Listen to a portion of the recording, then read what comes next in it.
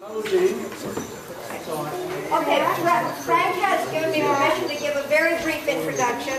And uh, one relevant thing is that Frank was our campus architect for 20 years. And something else that's relevant is that he retired last year. You're too young. Never too young.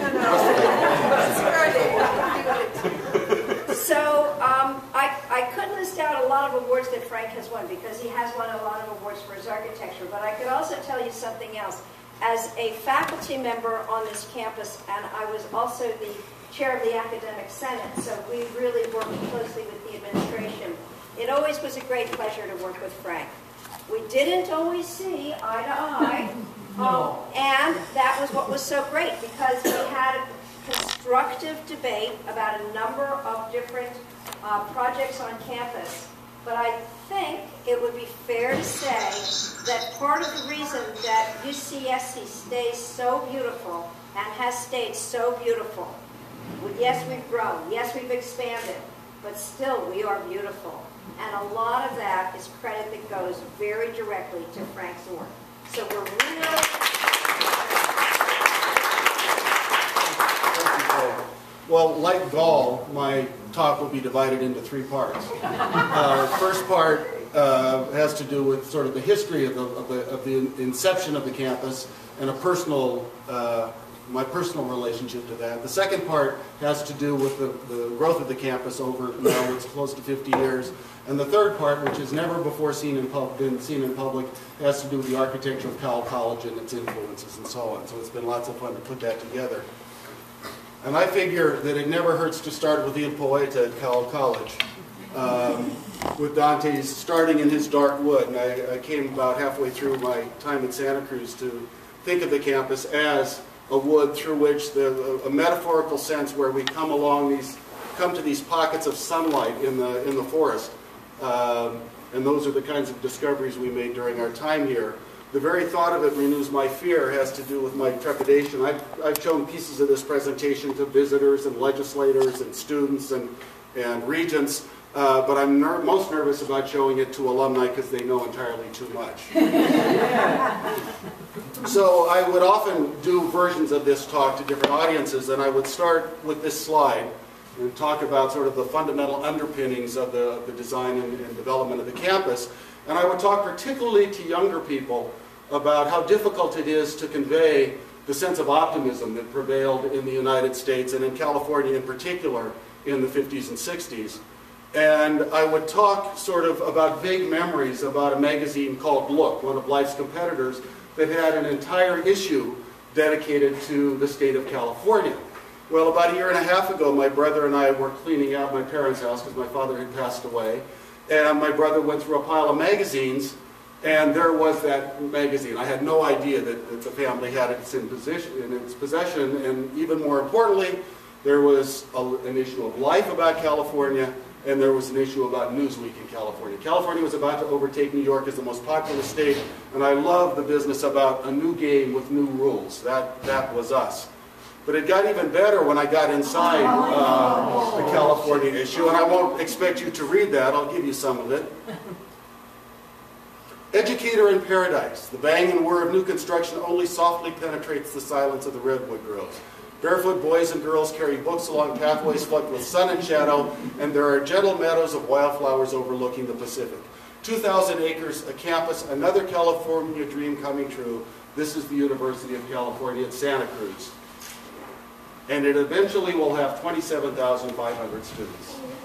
Well, that didn't happen, but I will show you a few things that didn't happen that we might be just as happy about in the course of my talk.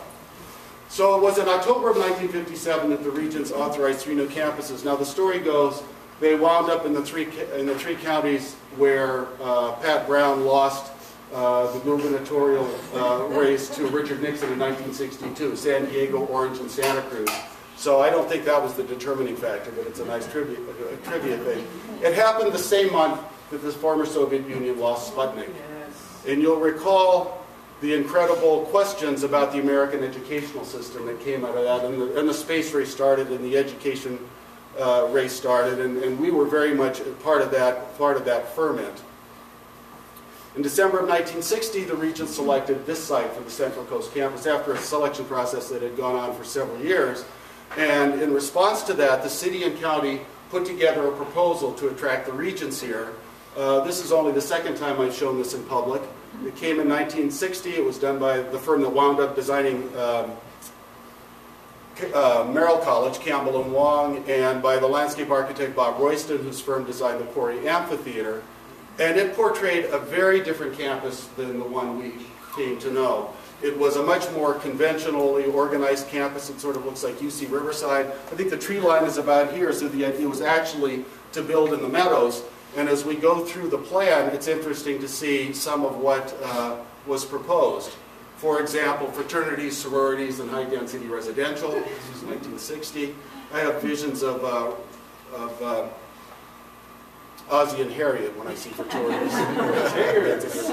the School of Econo Economics and Physical Education and Military Science. But what's so interesting, this is a diagram. The initials here, RJE, belong to Bob Evans. Bob Evans was the university architect system-wide. I met him. He's still alive and lives up in uh, in, uh, around uh, Tomales. Uh, and what you'll see as you look at this plan, this is a diagram that was sent to the to the communities that were trying to develop, to attract a new campus, and these were the relationships of various disciplines, and quite often what you got in return, and I'll show you another example of this a little bit later in the presentation, was a diagram imposed on the landscape, and in fact, Santa Cruz wound up developing in a very, very different way, you'll, as you'll see in a few minutes. So in September of 1963, the first long-range development plan was, uh, was published, and I'll, I'll, talk about that in more detail in a second. Uh, and in December of 1964, the free speech movement rocked uh, California, and you can see the headline from the Los Angeles Times that week. Um, and there is often talk about, well, Santa Cruz was developed because of the free speech movement. The chron I mean, there's no doubt in my mind that there was a link in some fashion, but the chronology just doesn't bear it out. The fact is that the campus uh, well, the planning for the campus preceded the free speech movement by quite a good time. And in September of 1965, this photograph from Ansel, Adams, the first students arrived. When my boss does a version of this presentation and shows this, he shows that even on the first day there was a parking problem. About that time, about that time I was a junior in high school. And I tell the story that I came to breakfast one morning and my father said there's an article in the Los Angeles Times about a new campus at the University of California is opening in Santa Cruz that might interest you. So a few months ago I went to the library, you can find this all online now, and I found uh, actually one of two articles that it might have been. This one was just a week after the free speech movement. State builds university on 20th century lines. Santa Cruz campus opening next year will be comprised of small colleges, photographs of central services, and NatSci 1 under construction, quote, quotes from Dean McHenry and, and Clark Kerr about what was happening. And then only six weeks later, on the front page of one of the regional sections, a much larger article by, that was an AP article, this is by the Times education writer, who went on to create a career for himself as one of the most uh, sophisticated and knowledgeable education writers in the country. Out of the turmoil at Berkeley, cozy campus created at Santa Cruz. Uh, here, the university's Dean of Academic Planning talks about a sentimental standard by which all education is judged. The residential community of scholars and students living, learning, and working together. And Dean McHenry, whose eyes were never very far from the checkbook, talked about uh, it. Uh, this has contributed, the free speech movement troubles have contributed to the region's determination to push ahead at Santa Cruz. The it will cost more syndrome seemed weaker. We are heartened by this increased concern for the undergraduate.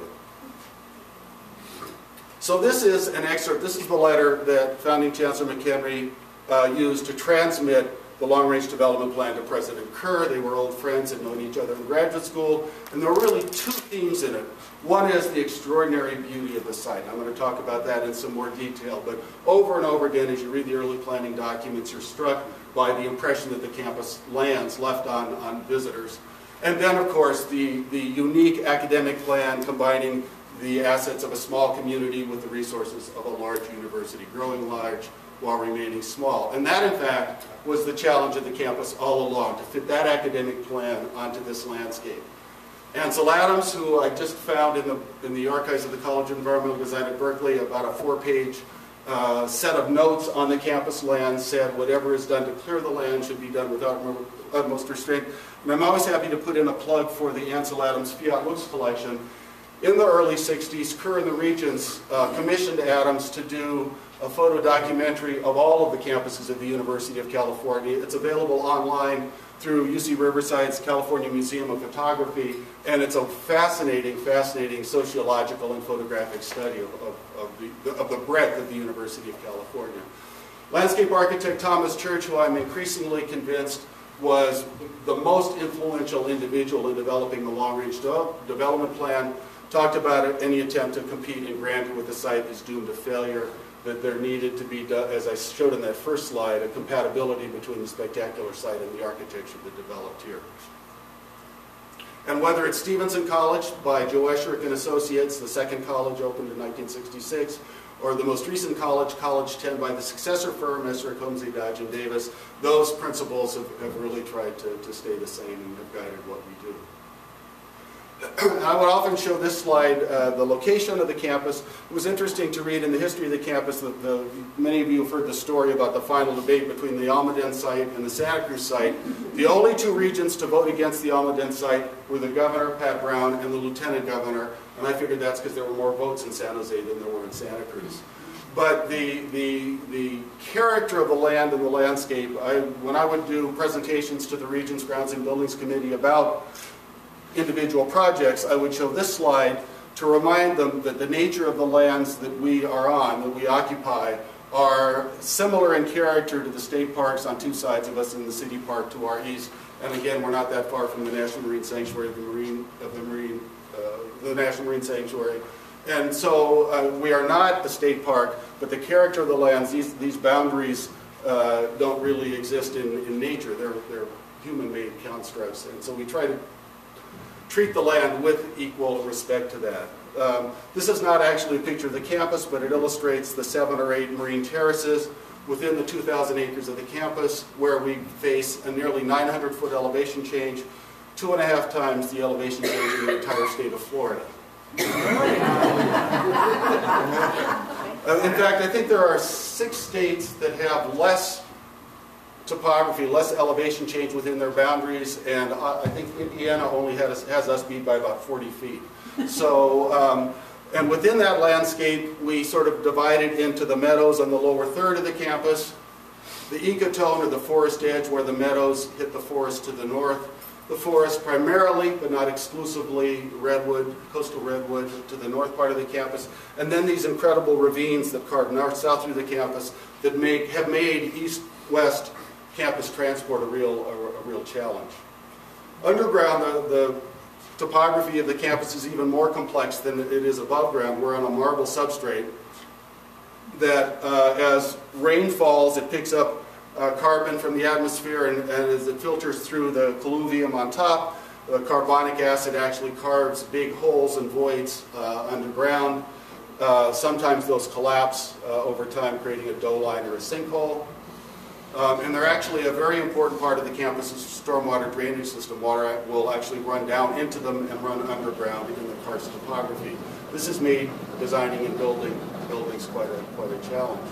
Uh, but that lime was really the basis for what became the Cowell Ranch. The Cowell lime industry, Henry Cowell um, the, the, lime that was made in Santa Cruz and Davenport was thought to be some of the highest quality lime in the United States. I saw an article in the Society of Architectural Historians Journal a few years ago talking about some of the palaces in, um, some of the royal palaces in Hawaii, and it made particular point of the, of the fact that, that, the plaster was made with Davenport and Santa Cruz lime.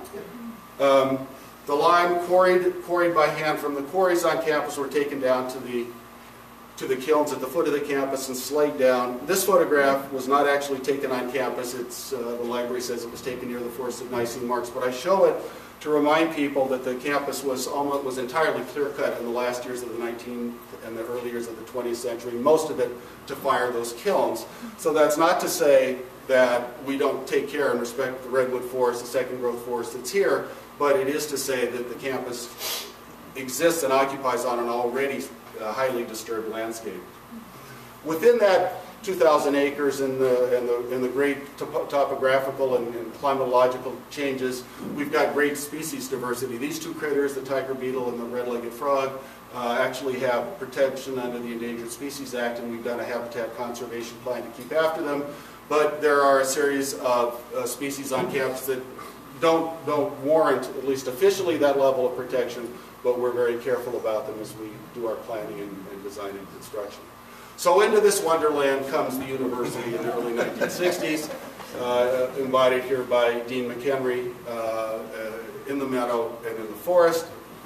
Um, and my wife Julia tells me her mother's advice to her is, was always begin as you mean to continue. And the first long-range development plan set some of those standards that we follow today. And the, and the most important of them, and this really did come from Tommy Church, was to locate the main campus in the middle of the site and keep the meadows uh, to the south free of it, free of development.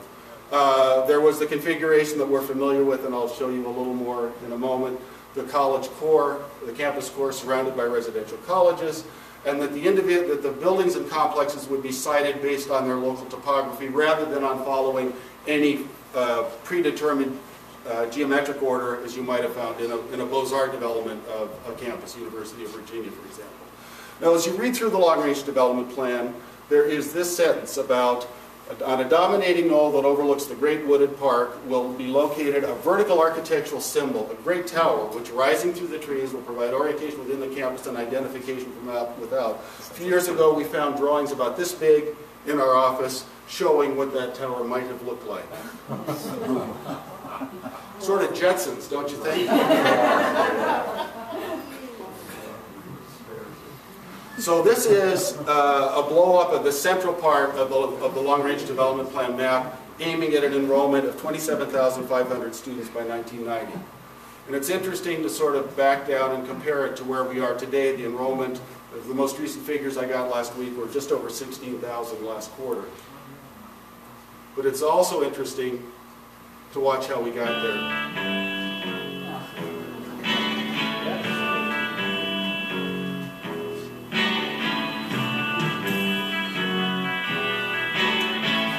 1970, you'll see the first Western College, Porter College, or College 5 poking up.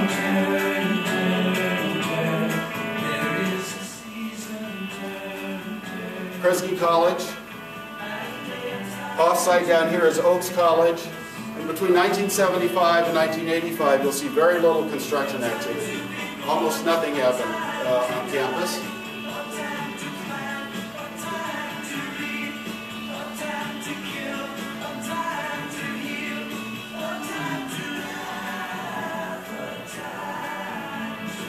But starting in 1985, which is when I joined the staff, uh, Baskin Visual Arts Complex was built, some student housing on either side of the campus was built, more student housing, the PE facilities, NatSci 3 or Sinsheimer Labs and the Student Center.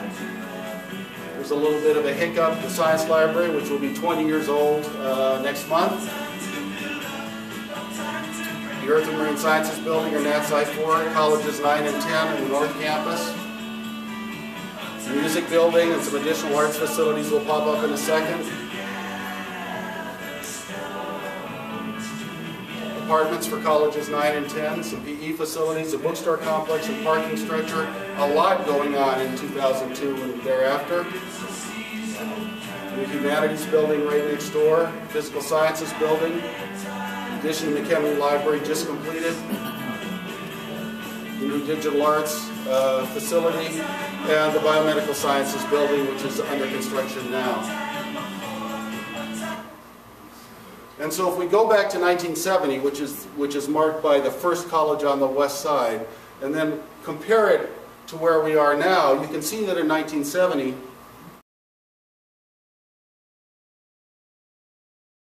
across a series of slides from 1966. This actually predates 1966. This is the Cowell site. I haven't had a chance to compare this with, with topographic maps of the site. I suspect this is the oak tree behind Parrington House. And I think this may be the tall fir tree that was next to what used to be the small swimming pool where uh, Barry Fader went skinny dipping once upon a time. An aerial photograph from 1966 of the, of the two colleges that opened that year. and then a few shots of Cowell, which would look quite familiar to today's students. You have to look uh, pretty interest, carefully to get clues that it was 1966, like the trailer still on the playing field down here. No Wisteria.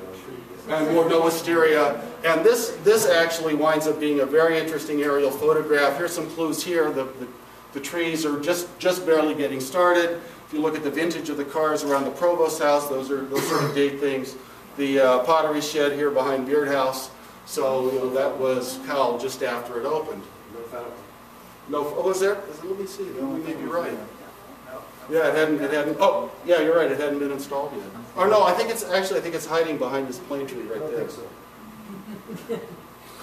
But about a year ago, I came across this rendering in our files for a Cowell College, residential college number one, that was never built.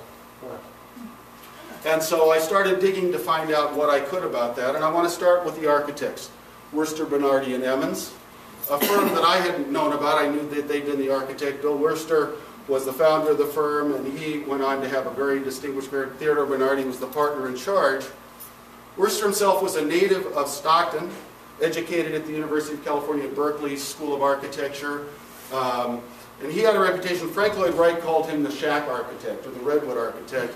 His, his wife, who was a planner herself, said that Bill could design a house and spend all kinds of money on it and it would never show. Wurster said, you know, there's, there's gypsum board and there's plywood. Plywood is more expensive, but we like to use it because it looks cheaper. But one of the things he did was to try, I mean, one of the things that characterizes his work is just a very, very strong sense of rigor to make things look effortless, which of course isn't effortless. Do it with good sense so it doesn't look architected at all. Uh, particularly, this is from his oral history that, that's available online. It's really a remarkable document. He talks about art being lively things done with objects you do every day, and he talks about the psychological effect of architecture on people. It affects the lives of people and their pride, or the theater, or the buildings on this. He was on, the, the interview was held at the Berkeley campus. Wurster was, I didn't realize the degree to which he was an international figure in architecture that many people have never heard of. He left, he, he established his practice, graduated from uh, Berkeley in about 1919, he worked for a Sacramento Walter filtration plant, understanding the nuts and bolts of large projects. He took two trips to Europe uh, in the 30s, looking at modern architecture there, and particularly modern architecture with social implications, as you'll see in a minute. Um, he came back and opened an, his office and did a series of houses. Uh, he went to, uh, to study planning at Harvard in the early 40s. And the MIT School of Architecture said, wouldn't you like to be chair of our architecture department? So he did that for a few years. He came back to Berkeley to be chair of architecture, and he created the College of Environmental Design at Berkeley, a very, very significant contributor to West Coast architecture. His partner, Theodore Bernardi, joined, the, joined him in that firm in the mid-1930s. And I came across a document uh, as I was going through the Wurster Bernardi and Emmons archives a few weeks ago that I'd never seen before. It was a statement to the Regents Committee on Grounds and Buildings in 1961.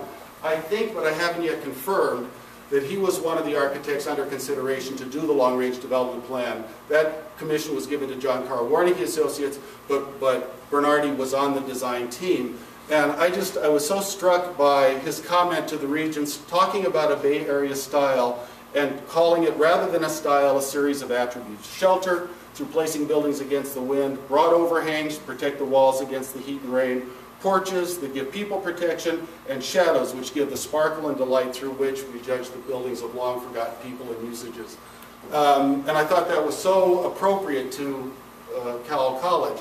We'll talk a little bit about Maybeck, who is seen as the father of the Bay Area style, and what's, what's thought to be his masterpiece, the first Christian church, First Church of Christ Science, the Christian Science Church in Berkeley, very much Maybeck was educated in, in Paris at the École de Beaux-Arts in the, in the Beaux-Arts style, so he understood the historical orders and used them freely in California. But if you look here, trellises and wisteria, you'll see industrial sash, you'll see broad overhangs and, and, and structural members piled up on each other. Themes in his masterpiece from 1910 that are repeated here at Cowell.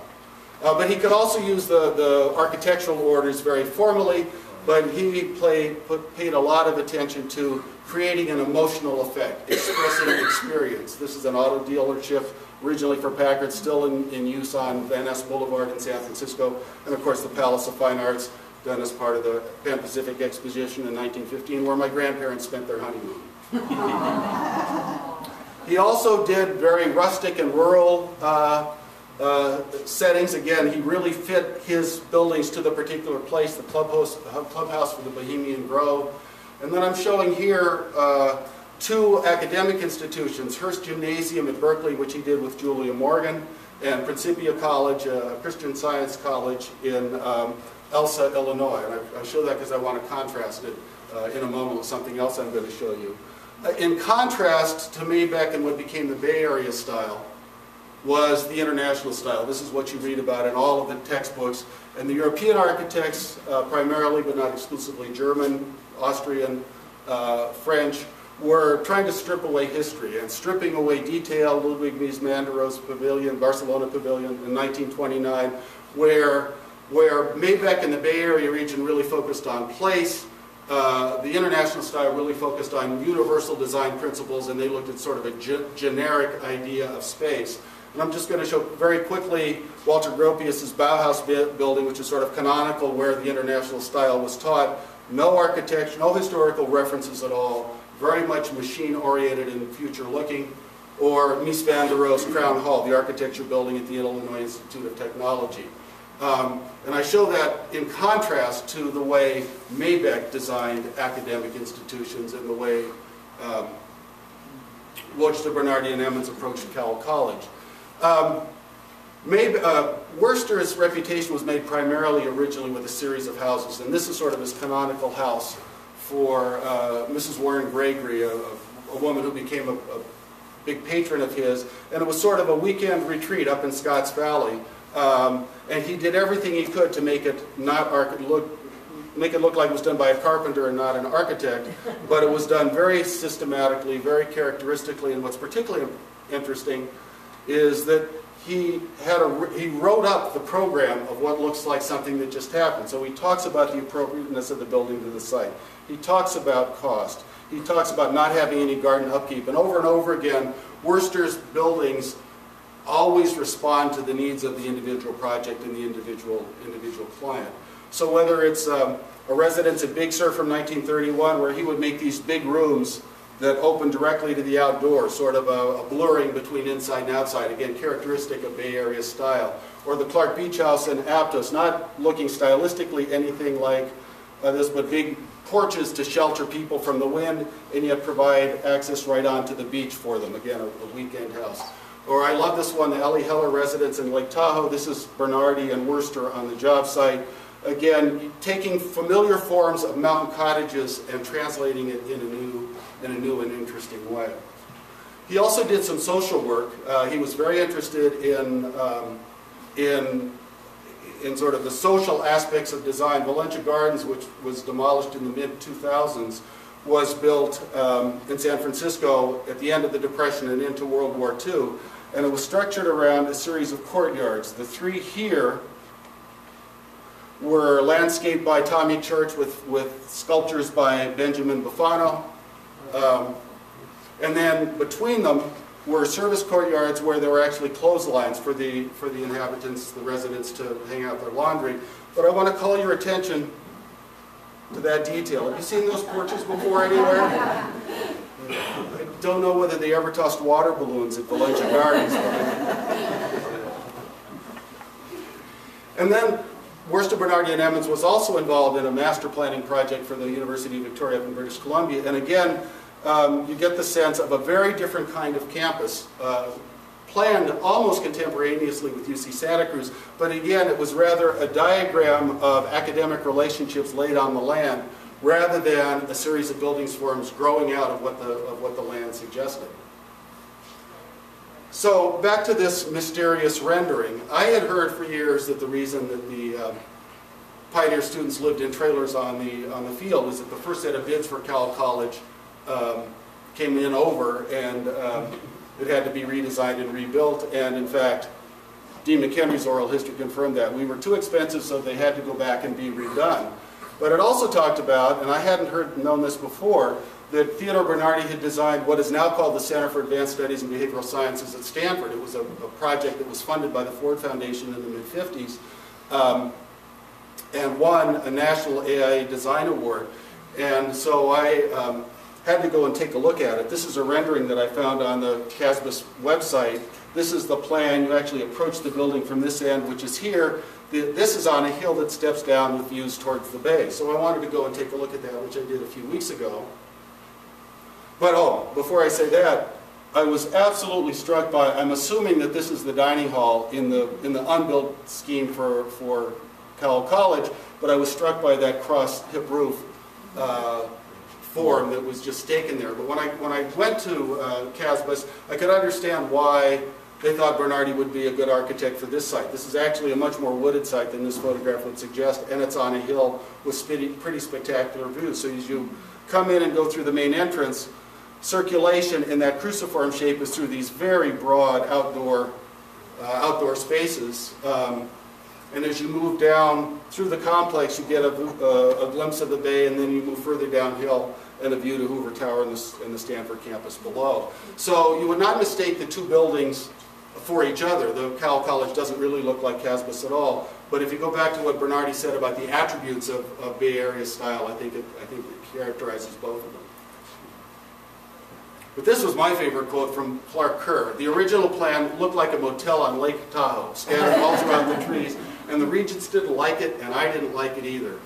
So I want to continue to do some more um, digging to find out how this design moved into the design that we that we lived in and worked. I mean, here's that aerial photograph again, and I'm suspecting that these two clusters of redwoods are these here, so that you can see the original design had the residence halls coming way down, probably all the way to the athletic field.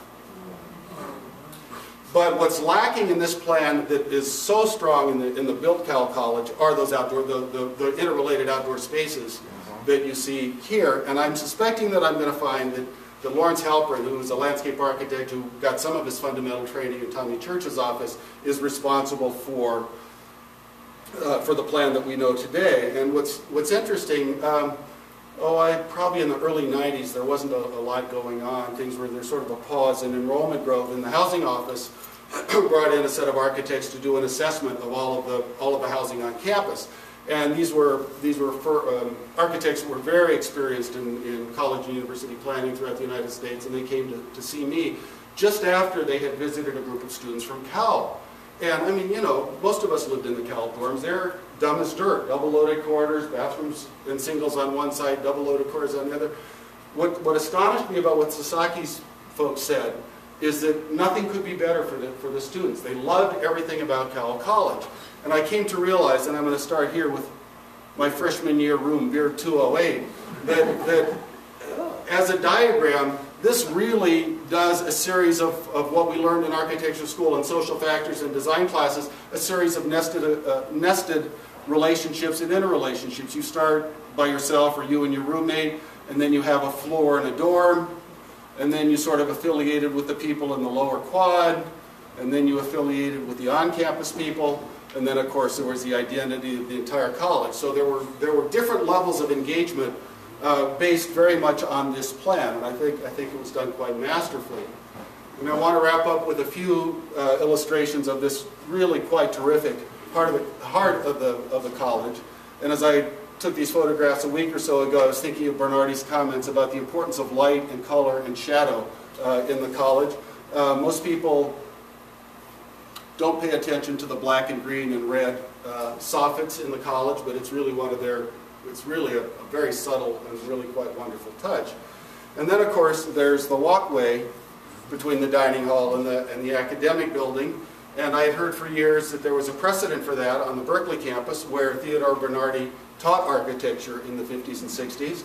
And this is now the School of Journalism at Berkeley, Northgate Hall. But in the 50s and 60s, before Wurster, before Wurster Hall was completed, this is where the architects studied. And it's really quite a lively courtyard uh, that gave for all kinds of social interactions. And it gave the uh, sort of that blurring between outdoor space and indoor space and did it quite, quite nicely. So that's my quick run through of Cowell College. uh, the teacher of my teacher in architecture school was Lou Kahn, a famous Philadelphia architect and, and, uh, and teacher, and he talked about how a city is a place where a small boy, as he walks through it, may see something that will tell him what he wants to do with his whole life. And uh, I mean, Jeff, your comments earlier were exactly that about what happened to, me here at Cowell College. Uh, you know, I, I just don't think I would have wound up in architecture had it not been for a place very much like Cowell College and somebody very much like Jasper Rose. So thank you, and I'm happy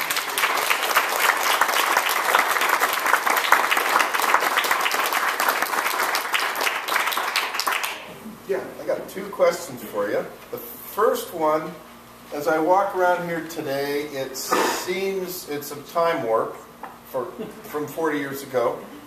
Um, how they look like they're doing pretty well, not falling apart. I'm a remodeling contractor. I mean, even the doors look like the hardware hasn't worn out. There have been a this is series- a pretty well-built place. It is, yeah, it's, this, this actually was a relatively well-built place. We've actually done two seismic upgrades in the dining hall in the time that's been here as, as codes have evolved.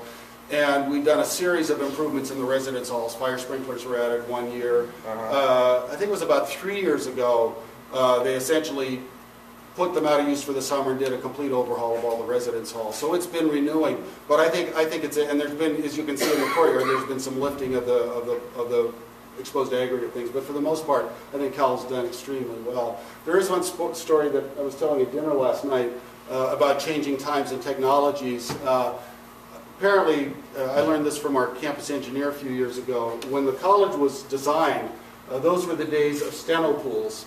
And the college was designed with a dictaphone system so that every faculty office had a dictaphone microphone and a faculty member, and in those days it was all he, could pick up a, a thing and, and dictate. It would translate to the, um, to the steno pool, and the girls would type up whatever was to be done. Well, I'm told that only one faculty member ever used that. Maurice Natanson was the only faculty member. so you would say that well, that was probably a waste of money, but the reason I knew about this from Steve Aero, our electrical engineer, is that he was charged with retrofitting the buildings for internet connection, and he said those conduits were very useful when we wanted to. So you have to be very careful when you, uh, when you predict technology. Jason? Well, you tossed Jasper's name in at the last moment, uh, as I suppose an inspiration leading to your architectural dreams. Tell us about that. Well, he was my advisor, and I went to him, I was a math major, and at one point I said, you know, I'm not sure I want to go, go to graduate school in math, and I won't pretend to do his accent. He said, do you think about mathematics all the time? I said, no. He said, he said, then, dear boy, you'll never be a mathematician. and I realized he was right, and it was, um, it was, um, I don't remember if it was that conversation or one, one subsequent to that he suggested I might want to think about architecture. And my first reaction was, well, I don't have anything to do with the buildings that they build these days. But I took a couple of independent studies with him and um, enjoyed it and then wound up going to architecture school to a program where uh, people with degrees in things other than architecture could get master's degree, professional master's degrees in architecture. Now fast forward to that, in the course of that, Jasper gave me a book about English Baroque architecture and inscribed it. And in one of my studio classes, our instructor was uh, an art historian, architectural, architect and architectural historian from Cambridge, Tony Vidler, who uh, I brought the book in to look at some plans about something, and he saw this inscription, and he said, is that the same art, Rick Jasper Rose I knew at Cambridge? Well, I learned later that architecture and art history were the same department at Cambridge. I said, it probably is. He said, is he still a rake? Yes. So what's so interesting is that now Tony Vidler wound up marrying the daughter of a politics professor from Berkeley, at Berkeley, and Julia and I met her earlier this summer, and we got into playing Who Do You Know? And it turns out that she's a good friend and colleague of our next door neighbor in Santa Cruz, and that one of her tutors at Harvard, Jim Clifford, has just retired uh, from the History of Consciousness Department. And he and I and two other emeriti are starting work on an architectural history of the campus. So it really is a very exciting So I want to jump in here, um, and again, first, thank Frank.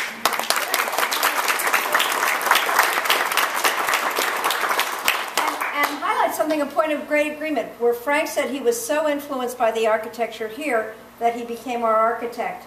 And in, in becoming the architect, he really, really continued all of the traditions of Cowell, having a protection of the land, of the beauty, of a sense of stewardship, not just imposing buildings, any old place to get done the work that is such important work. You have to do that work in an environment. And again and again, it was really Frank, during his 20 years as our, as the campus architect, who carried forward the tradition of everything that he learned here.